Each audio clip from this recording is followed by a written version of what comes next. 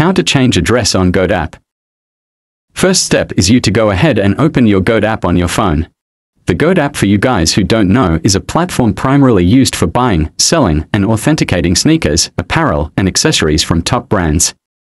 It connects buyers and sellers worldwide, ensuring authenticity and quality through a verification process. And after you open your Goat app, you can just go ahead and go to the profile page. Then, click the settings button on the top left of your screen.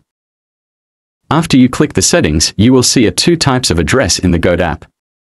A return address and a shipping address. The shipping address on the Goat app is where your purchased items will be delivered, and it should be your current and accurate delivery location, while the return address is used if you need to send back an item for a return or exchange, typically provided by Goat for verified returns and ensures the item is sent to the appropriate facility for processing. But, going back to the shipping address, after you click remove, go back to the home page of the Goat app then try to purchase something.